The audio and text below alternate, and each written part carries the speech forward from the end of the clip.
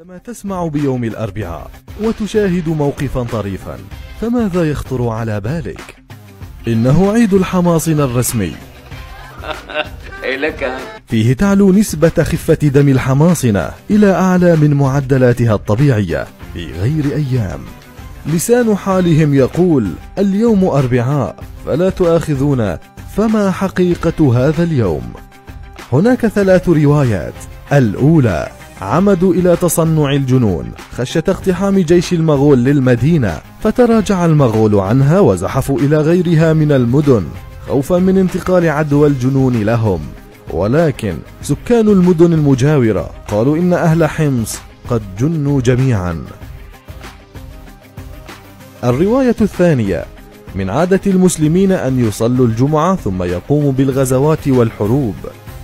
لكن أهل حمص اضطروا لخوض حرب دفاعية يوم الأربعاء. فصلوا صلاة الجمعة يوم الأربعاء. وبعدها ذاع صيت غرابة أفعال الحماصنة. الرواية الثالثة احتفال أحد ملوك حمص القدامى في يوم الأربعاء مع وزرائه وشعبه لتجتمع هذه الحكاية مع ما سبقها من أحداث. ويكون يوم الأربعاء بمثابة عيد للحماصنة.